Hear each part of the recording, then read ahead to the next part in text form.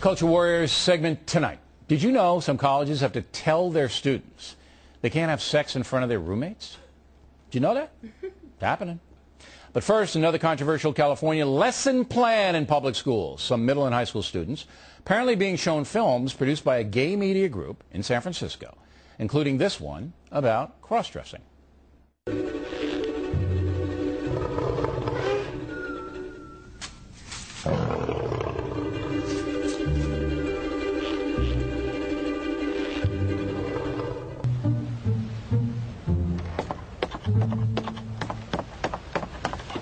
It was an itsy bitsy teeny weeny yellow polka dot bikini that she wore for the first time today. An itsy bitsy teeny weeny yellow polka dot bikini. So in the locker she wanted to stay. Brilliant. Joining us now from Charleston, South Carolina, Fox News analyst Margaret Hoover. And here in the studio, Fox and Friends co-anchor Gretchen Carlson. You know, people who live in other parts of the country and they, they're going, are you kidding me? We're not kidding you, ladies and gentlemen. California public schools, all right? Here's the point. Students sit there. Here it is. Now, I guess it's the tolerance thing again, right? Oh, come That- on. well, that's why that's This that's how it's being marketed. Oh, okay, but, but, but let's let's let's walk through it. It's being marketed by the California Public School authorities as teaching their students to be tolerant of all lifestyles, including this person wearing women's clothes. He's a guy. Right. Is that's what the intent is, correct? Well, the problem is, and first of all, nothing against gays, lesbians, or transgender people, but there's a time and a place for everything. And I do not believe the time and the place for a child to learn about this is elementary school, middle maybe school, even yeah, middle school. middle school. And, and number one, the time and the place should be for the parent to tell the child about these specific things if they so choose. Why is it always that the parent has to opt out of these particular programs at school? And by the way, in this California case, the parents didn't even know about these Yeah, they- just dropped down the shown. kids, Can you right. imagine that? If you're, I don't know how you'd feel about your kids seeing this at school without your knowledge, but I would be outraged. Well, I'm not happy about this at all, Hoover, because again, it's it's a uh, social engineering project in the public schools. The parents don't know about it. Um, I, I don't want cross-dressers to have a hard time in their lives. I certainly don't want any bullying of gay people, and I think it's a problem, and I think it has to be addressed by the school authorities. But you're you're basically social engineering. You're not teaching anymore. Am I wrong? Right. No, you're right. And also, sexuality studies has no place in an elementary, middle school, or high school curriculum. That's like an elective in college. This is not to be taught in our public schools. But they have sex ed all day you know, long in, in public schools now. They have sex ed all Right, right. And you know what? And that's why, you know what? They, not all day long, but this is, they need to be teaching kids the Gettysburg Address and the American presidents. And you know what? The California kids could take a lesson in finance or two, and maybe their state legislatures would learn right, how to all right, balance but let's budget. deal with reality. I mean, this is the problem. Hoover. Let's deal They're with not, reality. They have sex ed.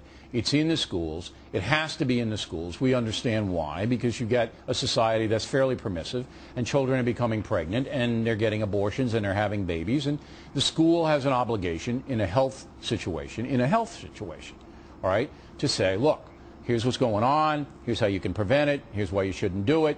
The, the Congress is going to put, pass more abstinence money that drives the left crazy, but that's happening. But this, Hoover, There's is this with- this is social engineering. This is basically saying, look, you kids, there are cross-dressers, and, and you should be accepting of them.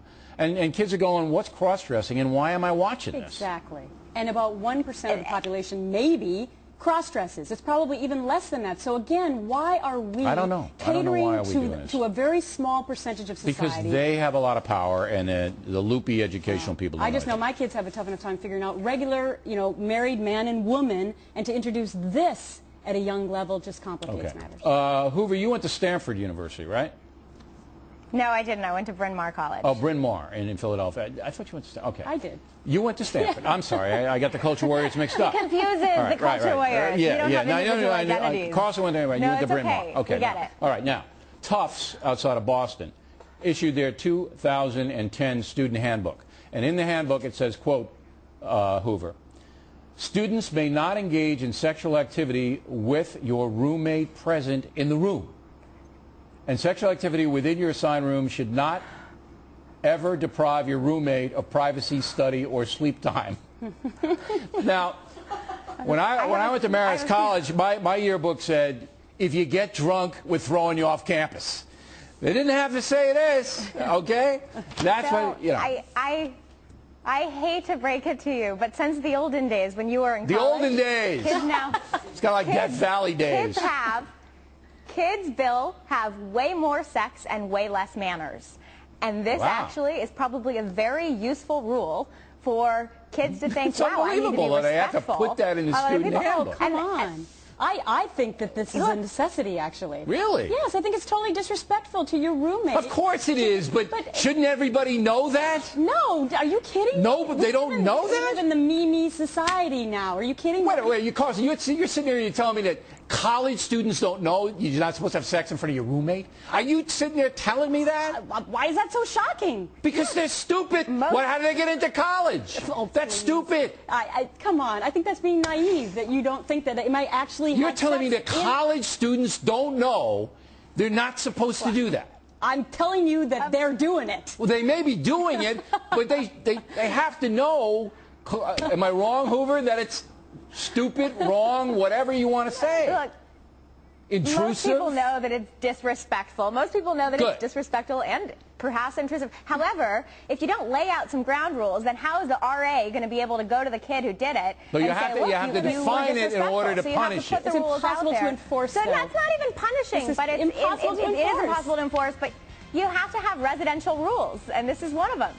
It's not necessarily obvious. Okay, here we go. Newsflash. This is America. kids have sex. I got it. Uh, look, I, I got it. Just the olden days, ladies and gentlemen, I think they were.